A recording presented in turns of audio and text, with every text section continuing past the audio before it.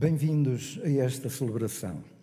Tenhamos presentes as seguintes intenções: aniversário natalício de José Gomes dos Santos, Maria Palmira Ferreira e marido, ação de graças a São Judas Tadeu, promessa a Nossa Senhora da Ajuda, Damásio Antônio Braga Azevedo, esposa, filho e genro. Joaquim Alves Miranda, mãe e filhos. Carlos Manuel Alves Pedrosa. Delfina Angelina da Silva. Adelino Barros Correia. Mário Carvalho Ferreira. José de Carvalho Casanova. Associados vivos e falecidos da Associação do Sagrado Coração de Jesus. Irmãos vivos e falecidos da Confraria das Almas e Senhor dos Aflitos. O tempo do verão e das férias permite-nos saborear a beleza e a riqueza da criação. À beira-mar ou no alto da montanha, à sombra de uma árvore ou de sol a sol por entre as searas, os céus e a terra proclamam a glória de Deus e o firmamento anuncia a obra das suas mãos. A natureza está cheia de palavras de amor, mas a pressa e o ruído, as ocupações e preocupações impedem-nos muitas vezes de as ouvir e compreender. Procuremos, desde já, desimpedir do terreno do nosso coração tudo o que impeça de deixar frutificar a boa semente da palavra e do reino de Deus. Rezemos pelos quatro jovens que hoje serão ordenados sacerdotes na nossa Arquidiocese de Braga, para que o seu ministério possa frutificar junto das comunidades que lhes vão ser confiadas. Com esta certeza de pé, cantamos.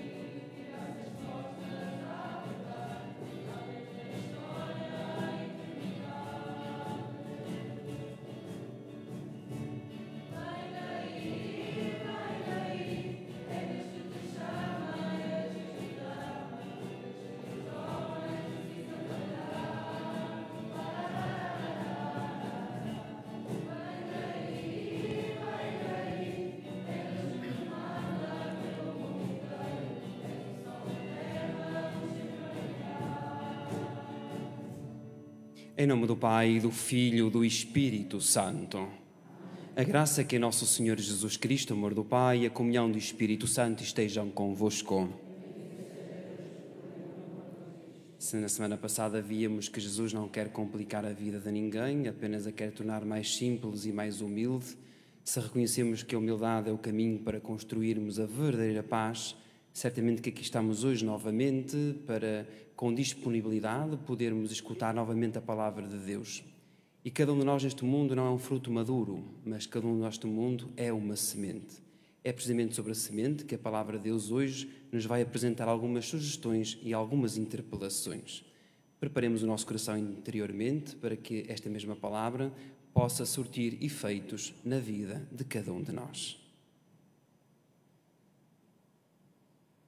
Confessemos os nossos pecados. Confesso a Deus Todo-Poderoso e a vós, irmãos, que pequei por muitas vezes por pensamentos e palavras, atos e omissões por minha culpa, minha culpa, minha tão grande culpa.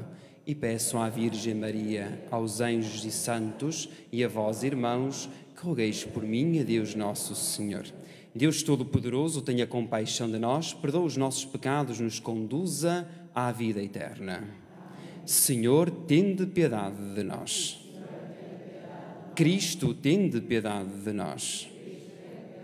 Senhor, tende piedade de nós. Glória a Deus nas alturas e paz na terra aos homens por ele amados. Senhor Deus, Rei dos céus, Deus Pai Todo-Poderoso, nós os louvamos, nós os bendizemos, nós vos adoramos, nós vos glorificamos, nós vos damos graças por vossa imensa glória. Senhor Jesus Cristo, Filho unigênito, Senhor Deus, Cordeiro de Deus, Filho de Deus Pai, vós que tirais o pecado do mundo, tende piedade de nós. Vós que tirais o pecado do mundo, acolhei a nossa súplica. Vós que estáis à direita do Pai, tende piedade de nós. Só vós sois o Santo, só vós o Senhor, só vós o Altíssimo Jesus Cristo, com o Espírito Santo, na glória de Deus Pai. Amém. Oremos. Senhor nosso Deus, que mostrais aos errantes a luz da vossa verdade para poderem voltar ao bom caminho, concedei a quantos se declaram cristãos que, rejeitando tudo o que é indigno deste nome, sigam fielmente as exigências da sua fé. Por nosso Senhor Jesus Cristo, vosso Filho que é Deus, e convosco vive e reina na unidade do Espírito Santo, por todos os séculos dos séculos.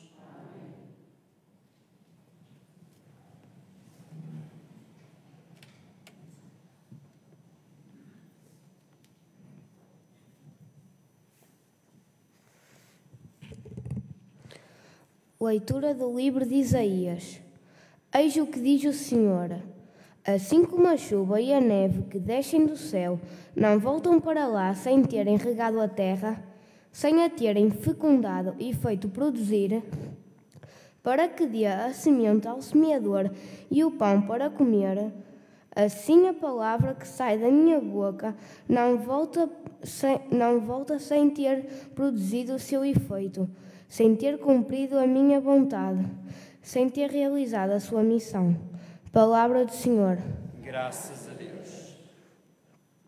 A semente caiu em boa terra e deu muito fruto. A semente caiu em boa terra e deu muito fruto. Visitaste a terra e a regaste, enchendo-a de fertilidade. As fontes do céu transbordam em água e fazeis brotar o trigo semente caiu em boa terra e deu muito fruto. Assim preparais a terra, regais os seus chocalcos e aplanais as leivas. Vós a inundais de chuva e abençoais as sementes. A semente caiu em boa terra e deu muito fruto. Coroaste o ano com os vossos benefícios.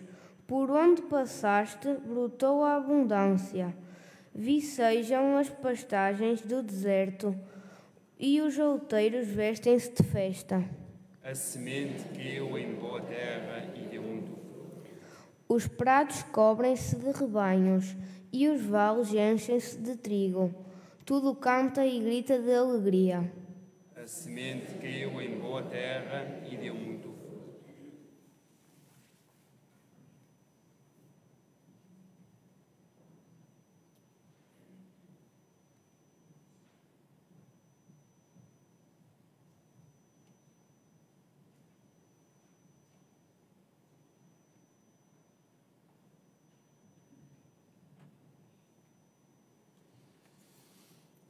Leitura da Epístola do Apóstolo São Paulo aos Romanos.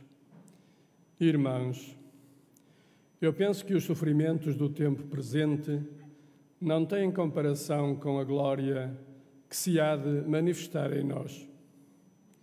Na verdade, as criaturas esperam ansiosamente a revelação dos filhos de Deus. Elas estão sujeitas à vá situação do mundo não por sua vontade, mas por vontade daquele que as submeteu, com a esperança de que as mesmas criaturas sejam também libertadas da corrupção que as escraviza, para receberem a gloriosa liberdade dos filhos de Deus. Sabemos que toda a criatura geme ainda agora e sofre as dores da maternidade. E não só ela, mas também nós, que possuímos as primícias do Espírito, gemendo interiormente, esperando a adoção filial e a libertação do nosso corpo. Palavra do Senhor. Graças a Deus.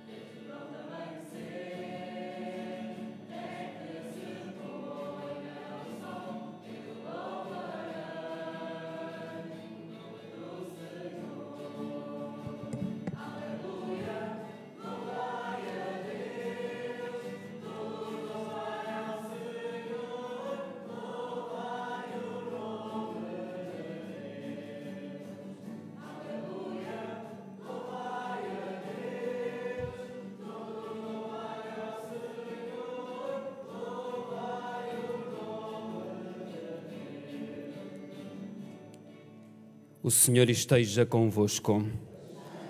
Evangelho de Nosso Senhor Jesus Cristo, segundo São Mateus.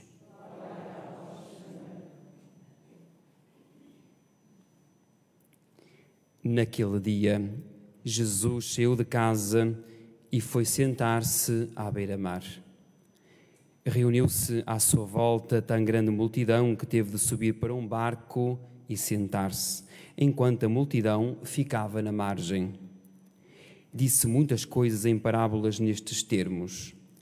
Saiu o semeador a semear. Quando semeava, caíram algumas sementes ao longo do caminho. Vieram as aves e comeram-nas. Outras caíram em sítios pedregosos, onde não havia muita terra, e logo nasceram porque a terra era pouco profunda mas depois de nascer o sol, queimaram-se e secaram, por não terem raiz. Outras caíram entre espinhos, e os espinhos cresceram e afogaram-nas. Outras caíram em boa terra e deram fruto, umas cem, outras sessenta, outras trinta por um. Quem tem ouvidos, ouça. Palavra da salvação.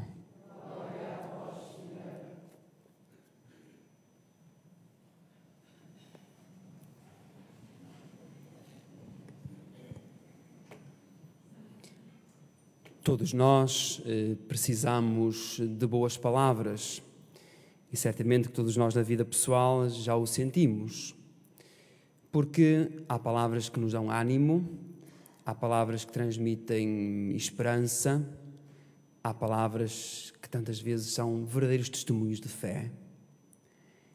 E reparai que tudo nasce da palavra. E nós hoje vamos notando que cada vez mais há pessoas com déficit de pessoas de palavra. Ou melhor dizendo, pessoas de palavra nós podemos contá-las com os dedos da nossa mão. Mas o que são palavras? A palavra são códigos que nós entendemos. Se olharmos para este elemento que temos aqui diante de nós, nós sabemos que este elemento tem um nome, é o altar. E o altar é uma palavra. Se olharmos para a imagem de Cristo ressuscitado, que está diante dos nossos olhos, aquela é uma palavra que se impõe, sabemos que aquela é a imagem de Jesus Cristo. E vede que, desde o início da criação, e se formos ao primeiro livro da Bíblia, tudo nasce da palavra. Quando Deus disse, faça-se a luz, e a luz se fez, foi da palavra, do verbo faça-se, que nasceu. Se vamos ao relato da Anunciação de Nossa Senhora, quando o anjo diz que ela vai ser a mãe do Salvador, o que é que Maria diz? Faça-se em mim, segundo a tua palavra. E eu creio, caríssimos cristãos, que quando na vida pessoal a cada um de nós se nos é imposto alguns desafios, eh, muitas vezes tarefas que temos de cumprir, nós, no íntimo do coração, depois de escutarmos a Sua vontade, dizemos também: faça-se. E por isso, neste sentido da palavra, é que a palavra de Deus de hoje, em pleno mês de verão, tem algumas recomendações, algumas pinceladas que eu creio que são muito oportunas muito incisivas, mas ao mesmo tempo muito provocatórias. E há aqui duas atitudes de Jesus que, enquanto eu preparava este texto ao longo da semana, para agora poder partilhar convosco, me chamaram a atenção. E quais são os dois aspectos importantes que o texto realça? Jesus saiu de casa e foi sentar-se à beira-mar.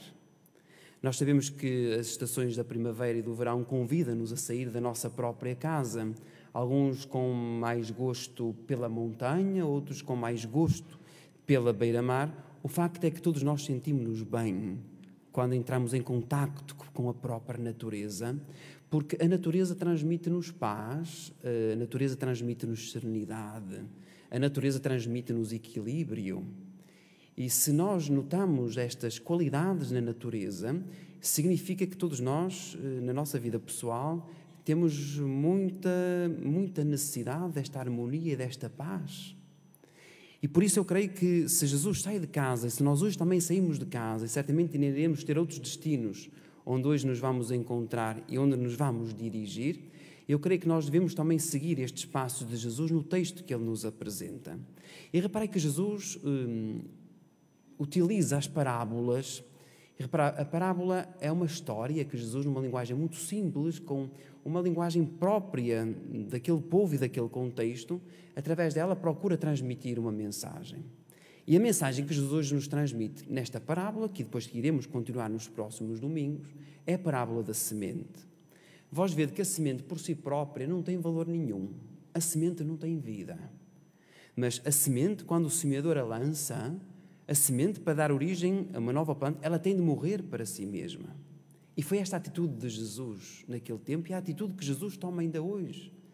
Mas esta semente pode cair em quatro terrenos distintos. E quando falamos deste terreno, nós falamos de uma imagem que simboliza o nosso coração. E o nosso coração não é só esta máquina que bombeia e que leva o sangue às extremidades do, do nosso organismo, do nosso corpo. Mas o nosso coração engloba toda a nossa perspectiva de vida, tudo aquilo que nela nós podemos comportar, sentimentos mais positivos ou, porventura, sentimentos menos humanos. E vê de que o primeiro terreno que Jesus apresentava, dizia ele, saiu o semeador a semear e algumas sementes caíram no caminho, durante o caminho. Imaginei, o caminho é um sítio plano. Imaginei o corredor deste centro pastoral que nos congrega aqui neste altar. É um sítio plano onde não tem pedras, onde não tem espinhos, onde não tem montanhas. E é neste caminho que qualquer pessoa passa. Pois é esta realidade que Jesus também nos quer dizer. É que muitas vezes na vida pessoal de cada um de nós, nós passamos os caminhos da vida e não sabemos o que estamos a pisar. Não sabemos de onde vimos, nem sabendo para onde vamos. E muitas vezes vamos desabafando que a vida passa muito depressa, é um ano atrás do outro e que realmente nós nem, nem sequer conseguimos controlar o nosso próprio tempo. E quando nós vivemos assim, e é este risco da distração que Jesus nos quer alertar hoje, é o risco da distração, é de nós reconhecermos que a vida apresenta-nos tantas oportunidades todos os dias e em cada momento, mas muitas vezes distraídos por aquilo que os outros dizem, por aquilo que os outros pensam, pelas modas, por aquilo que a maioria acha, nós desperdiçamos as nossas qualidades. Eu digo isto muitas vezes aos meus alunos e digo-vos também agora aqui. Eh, tempo perdido nunca volta atrás. É muito importante nós pensarmos nisto. O tempo perdido nunca volta atrás. Há oportunidades que nos são dadas que, se nós não amarramos, nunca mais as conquistamos. Mas nós, para vermos as oportunidades que a vida nos apresenta, nós temos que estar atentos à nossa própria vida. E hoje, muitas vezes, nós estamos atentos à vida dos outros porque queremos comparar a nossa vida com a vida dos outros. E quem procura comparar a sua vida à vida dos outros nunca é uma pessoa feliz. E porquê é que não é uma pessoa feliz? Porque nós somos todos diferentes uns dos outros. Se quer eu desejo aquilo a outra pessoa, mas outra pessoa se quer deseja também aquilo que eu tenho. E quando andamos neste espírito de competição, nós não somos livres, tornamos-nos escravos da opinião do outro, da moda do outro. E nem sempre a opinião do outro e a moda do outro é onde está a verdade. E por isso, reparem, Jesus não tem medo, nem tem receio de esbanjar as suas sementes que tem entre mãos. Porque ele sabe que se nós não aproveitarmos essas sementes, vêm os pássaros e comem essas sementes. Quase que me faz lembrar o filósofo Lavoisier, que dizia que na natureza nada se perde, tudo se transforma. Reparei a nossa vida, se nós nos vamos transformando, até fisicamente nos vamos transformando. Quando eu nasci, eu era o Paulo, mas com um físico completamente diferente daquilo que sou hoje. Mas era a mesma pessoa. E cada um de nós é a mesma pessoa, em estados diferentes.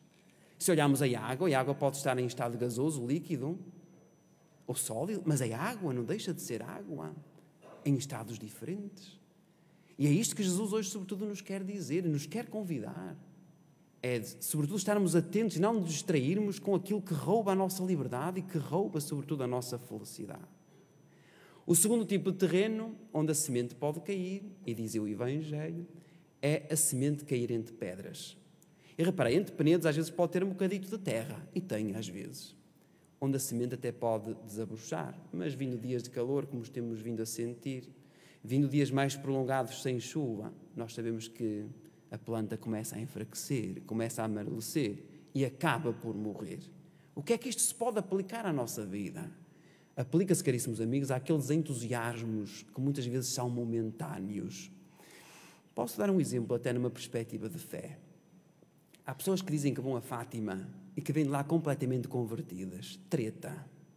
Treta. A conversão não é um processo automático que se dá de um momento para o outro. Se a conversão fosse um processo automático e nós, porventura, fôssemos a Fátima e viéssemos lá convertidos, então nós éramos pessoas perfeitas. E se somos pessoas perfeitas, nós somos deuses. Então não precisamos de Deus para nada. E reparem que inconscientemente é isto que nós fazemos na nossa vida. Quando a vida nos corre bem, quando parece que tudo está consoante os nossos desígnios e os nossos projetos, nós afirmamos-nos, nós esquecemos Deus, esquecemos os outros. Quando alguma coisa, às vezes na vida nos apresenta, ou a morte de um ente querido de forma repentina, ou uma doença que altera por completo os nossos planos e a nossa rotina de vida, então ali abre-se uma brecha. Abre-se uma brecha, porque sentimos frágeis, sentimos pequeninos. E é ali que damos oportunidade para que Deus possa entrar na vida de todos nós. Este é o tipo de terreno onde tantas vezes a semente da própria palavra de Deus cai entre espinhos, entre, entre pedras. Depois há o terceiro tipo de terreno, que são aquelas sementes que caem entre espinhos em vez de que os espinhos até podem deixar a semente crescer, mas a determinada altura a luz é muito pouca, abafa o crescimento da semente. E o que é que isto se pode aplicar à vida de todos nós? Pode-se aplicar, caríssimos cristãos, àquela preocupação, e vê o que é que significa a palavra preocupação. Significa ocupar o nosso tempo, ocupar a nossa vida antes do tempo. Isto é que significa a preocupação. Nós muitas vezes estamos preocupados com o dia de amanhã que é que me interessa estar preocupado com o dia de amanhã se eu esqueço o dia de hoje? Não. Eu preocupo-me com o dia de hoje, procuro fazer o meu melhor no dia de hoje, sabendo que as escolhas que eu faço hoje e os comportamentos que eu tomo hoje terão consequências no dia de amanhã. E quando falo do dia de amanhã, não falo do dia 17 de julho, mas quando falo do dia da manhã, eu falo daquele tempo que não tem tempo. E qual é o tempo que não tem tempo? É a eternidade, quando nós chegamos ao outro lado, que começa já aqui. E portanto, eu, quando projeto a minha vida, quando digo alguma coisa, quando construo alguma coisa, não posso ver a partir do dia de hoje, mas tenho que ver do fim para o início. Sabendo que, e era aquilo que há bocadinho dizia a segunda leitura, desde que nós saímos do ventre da nossa mãe, a nossa vida é um parto constante. São sofrimentos constantes que nós sentimos na vida. E é nestes momentos em que nós sentimos frágeis, então que nós assumimos que neste mundo nós não somos um fruto maduro, que nós neste mundo não temos que andar preocupados em colher os frutos maduros, porque os frutos que nós hoje colhemos não foram semeados por nós. As nossas qualidades, os nossos talentos, a nossa fisionomia, o nosso ADN não é nosso. Foi alguém que nos doou o nosso ADN. a nossa entidade biológica, que foi um homem, que foi uma mulher, a quem nós chamamos pai e mãe. E por aqui nós já vimos que nós somos um fruto dessa semente. E, portanto, aquilo que nós hoje fazemos, não a preocupação de colher frutos maduros, porque ninguém colhe ou ninguém planta frutos maduros, nós temos que partir sobretudo da semente. Eu, se calhar, até iria um pouco mais atrás. A semente pode ser muito boa, mas se a sementeira não for preparada, não dá nada. Portanto, eu creio que no dia a dia da nossa vida devemos, é sobretudo, preparar a sementeira. E aí sim, aí a semente pode cair em terra boa. E mesmo quando cai em terra boa, mesmo quando nós muitas vezes procuramos de forma afincada e de forma eh, inteligente e de forma consciente eh, o terreno fértil, nós temos que reconhecer que nós nem sempre produzimos 100%. Eu mesmo seguindo Jesus Cristo, eu nem sempre produzo 100%. Às vezes posso até nem produzir 60%. Às vezes até posso não produzir 30%. Às vezes até posso não produzir 10%, mas produzo alguma coisa. E agora vamos transpor isto para a área da educação, que é muito importante este paralelismo na sociedade. E de ver, sobretudo, que hoje os pais vão dizendo que é muito difícil educar os filhos, em todas as suas idades. Mas olhai, hoje educar os filhos não é pior nem melhor do que nos tempos passados, é diferente. Mas há educação, há princípios de educação que são imutáveis, que não passam com o tempo e com a história, que é o respeito, que é a humildade, que é o ensiná-los à partilha, que é a capacidade da escuta. E nós hoje estamos a perder muito esta capacidade da escuta Via de quantas vezes nós estamos a falar com alguém ou estamos a escutar alguém e nós estamos completamente noutra. Às vezes as pessoas estão a falar para nós e nós estamos a mandar mensagens para outro. E quando nos colocamos num papel contrário, quando nós estamos a falar com alguém e essa pessoa toma essa atitude, nós ficamos furiosos, nós ficamos enfurecidos.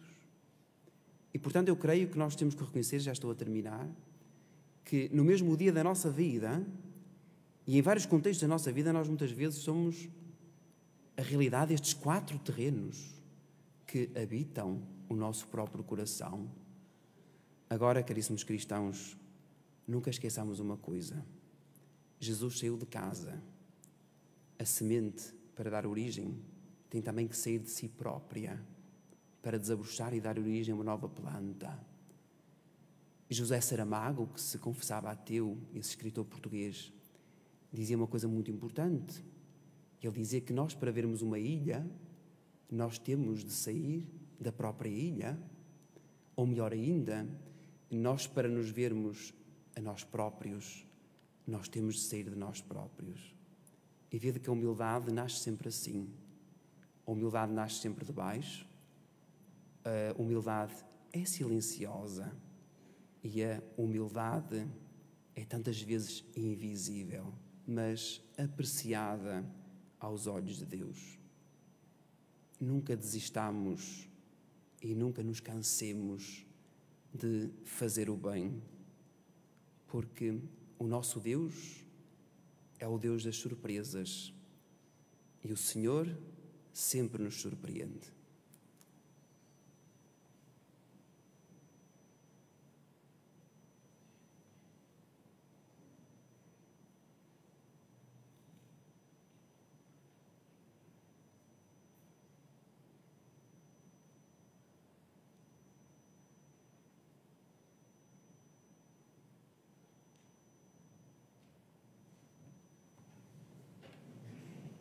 Professemos as razões da nossa esperança. Creio em um só Deus, Pai Todo-Poderoso, Criador do céu e da terra, de todas as coisas visíveis e invisíveis.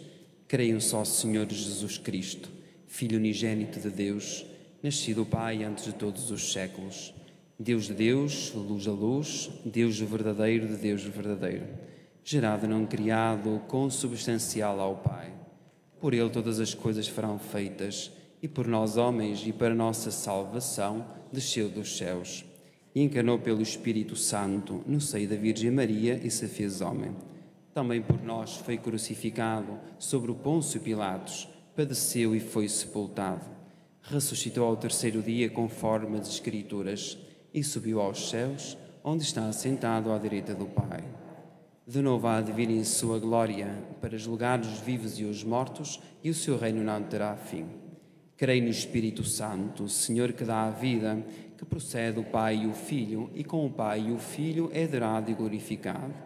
E ele que falou pelos profetas, creio na Igreja Una, Santa, Católica e Apostólica.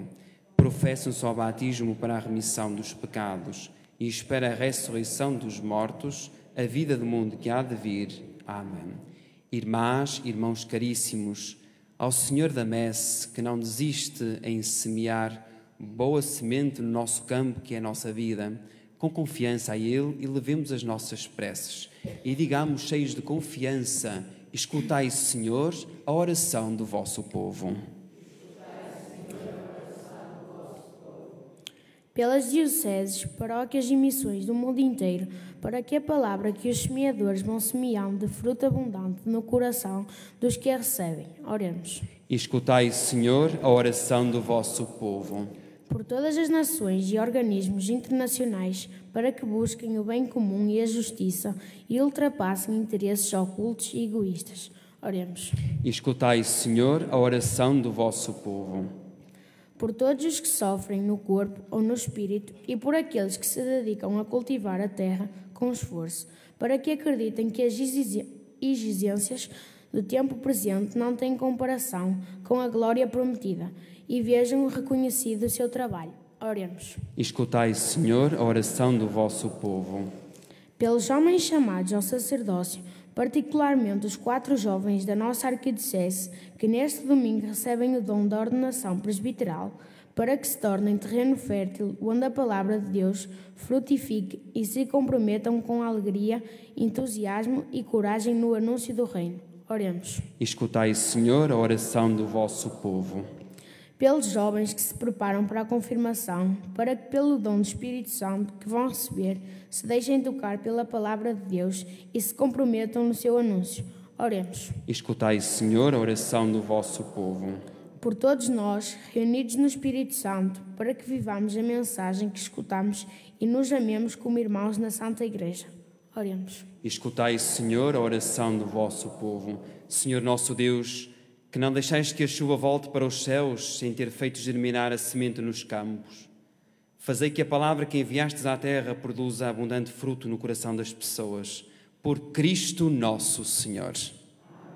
Podeis sentar.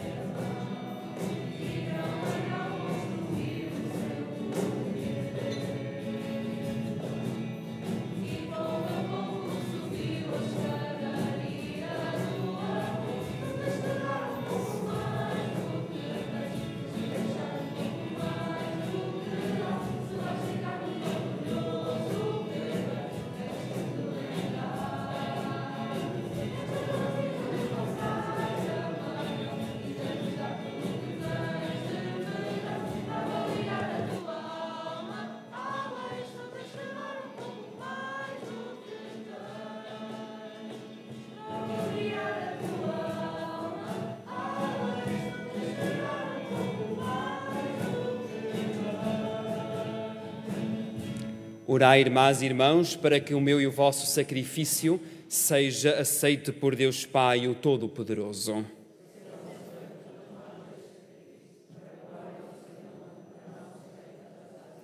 Olhai, Senhor, para os dons da vossa Igreja em oração e concedei aos fiéis que os vão receber a graça de crescerem na santidade, por Cristo nosso Senhor.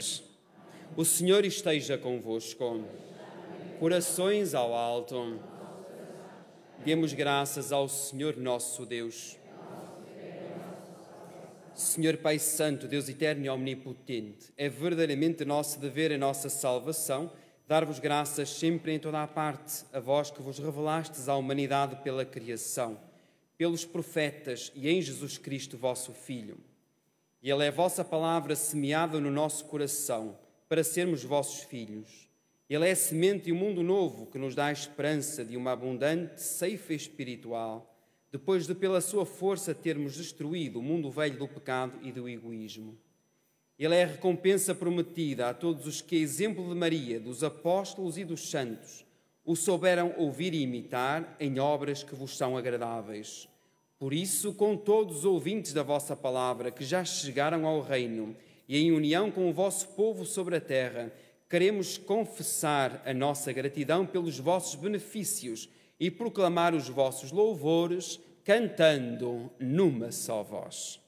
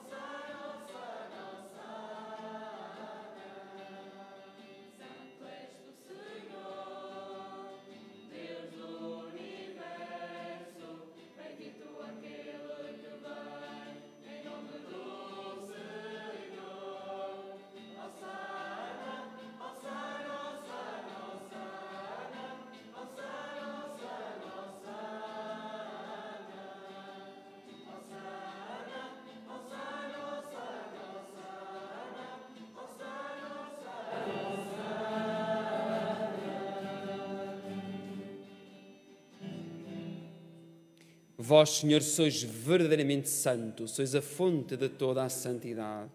Reunidos na vossa presença em comunhão com toda a Igreja, ao celebrarmos o primeiro dia da semana em que nosso Senhor Jesus Cristo ressuscitou dos mortos, humildemente vos suplicamos. Santificai estes dons, derramando sobre eles o vosso Espírito, de modo que se convertam para nós no corpo e sangue de nosso Senhor Jesus Cristo. Na hora em que ele se entregava para voluntariamente sofrer a morte, tomou o pão, dando graças, partiu, deu aos seus discípulos, dizendo: Tomai todos e comei, isto é o meu corpo que será entregue por vós.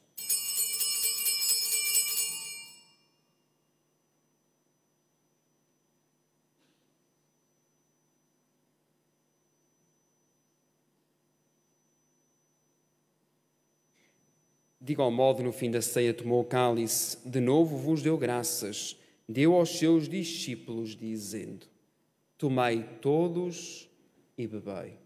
Este é o cálice do meu sangue, o sangue da nova e eterna aliança, que será derramado por vós e por todos, para a remissão dos pecados. Fazei isto em memória de mim.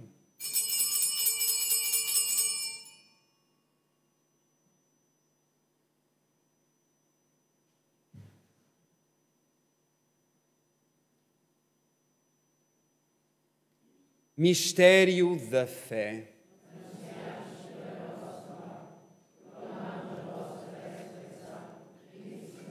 Celebrando agora, Senhor, o memorial da morte e ressurreição do vosso Filho, nós vos oferecemos o pão da vida, o cálice da salvação e vos damos graças porque nos admitistes à vossa presença para vos servir nestes santos mistérios. Humildemente vos suplicamos que, participando no corpo e sangue de Cristo, sejamos reunidos pelo Espírito Santo num só corpo.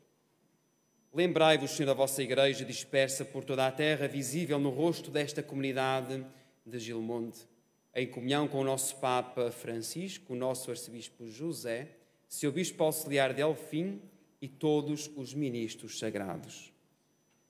Lembrai-vos também dos outros nossos irmãos que adormeceram na esperança da ressurreição, de forma particular por quem hoje queremos oferecer esta Eucaristia.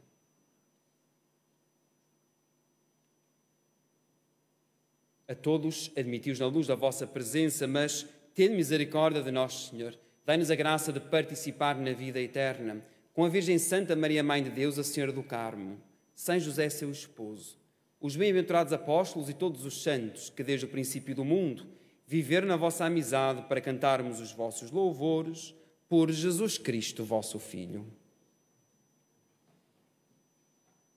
Por Cristo, com Cristo, em Cristo, a vós, Deus Pai Todo-Poderoso, na unidade do Espírito Santo, toda a honra e toda a glória, por todos os séculos dos séculos.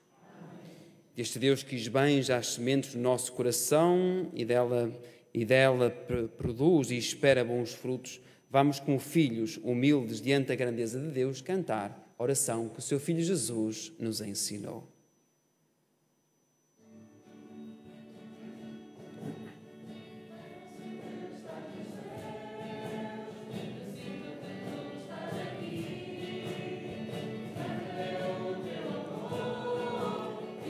Alma se sente feliz. Pai nosso que estais nos céus, santificado seja o vosso nome. Seja feita a vossa vontade, assim na terra como no céu. O pão nosso de cada dia nos dai hoje. Perdoai-nos as nossas ofensas, assim como nós perdoamos a quem nos tem ofendido. Não nos deixeis cair em tentação, mas livrai-nos do mal.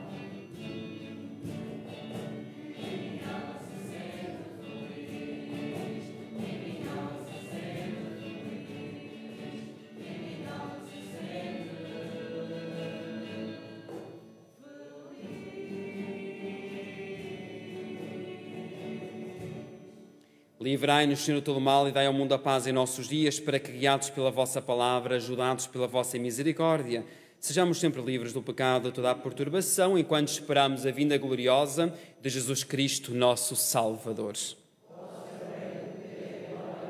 Senhor Jesus Cristo, semeador da palavra de Deus no mundo dos homens e das mulheres, vós louvastes os vossos apóstolos por terem ouvido e aceitado a vossa palavra também nós sejamos ouvintes atentos e fiéis da vossa palavra, que espalhemos à nossa volta para a construção de um mundo novo, onde haja justiça e paz, como é da vossa vontade.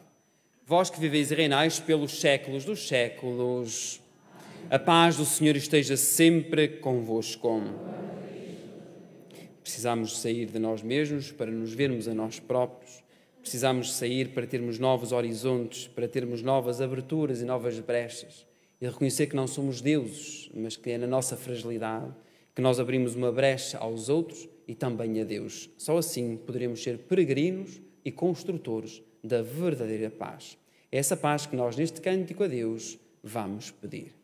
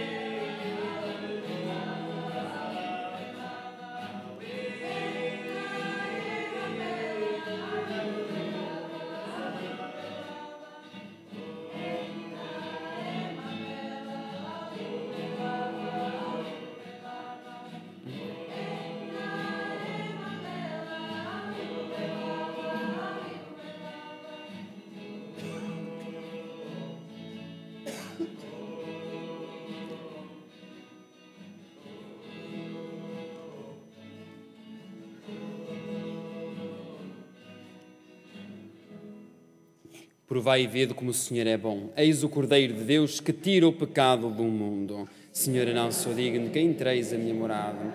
Dizem uma palavra e eu serei salvo.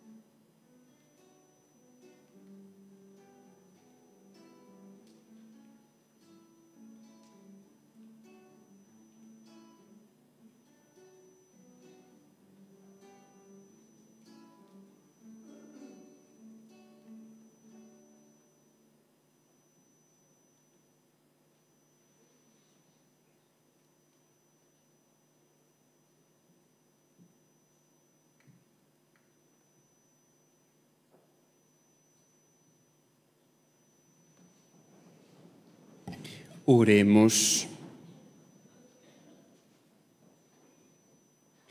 Senhor, que nos alimentais à vossa mesa santa, humildemente vos suplicamos, sempre que celebramos estes mistérios, aumentai em nós os frutos da salvação, por Cristo nosso Senhor. Caríssimos cristãos, nunca nos cansemos de fazer o bem, nem nos arrependamos de fazer o bem. A ingratidão muitas vezes é sentida, mas da, da palavra de Deus e do seu coração nasce sempre a gratidão. O nosso Deus é o Deus das surpresas. O Senhor surpreende-nos sempre. Para isto, não, não precisamos nem podemos andar distraídos, mas, sobretudo, atentos à nossa própria casa, que é o nosso íntimo, o nosso coração. Para nos vermos a nós próprios, citando José Saramago, nós temos de sair da ilha para ver a própria ilha. Para nos vermos a nós próprios, temos que sair de nós mesmos. A humildade nasce sempre do chão. A humildade nasce sempre do silêncio e tantas vezes é invisível e imperceptível aos nossos olhos, mas valorizado aos olhos de Deus. O Senhor esteja convosco. Abençoe-vos o Deus Todo-Poderoso, Pai, Filho e Espírito Santo. Um bom domingo para todos, uma boa semana, boas férias para quem for o caso e deem paz que o Senhor vos acompanhe. Sentai só um bocadinho, por favor, para uns breves avisos e algumas informações que creio que são